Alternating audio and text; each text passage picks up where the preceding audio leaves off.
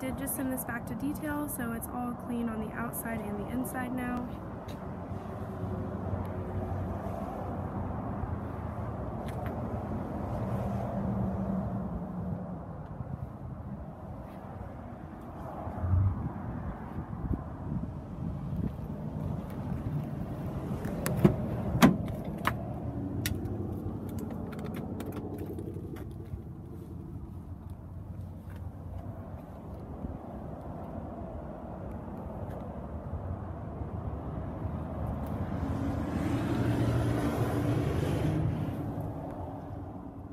So there's the miles, so it's reading 34,358.9 miles.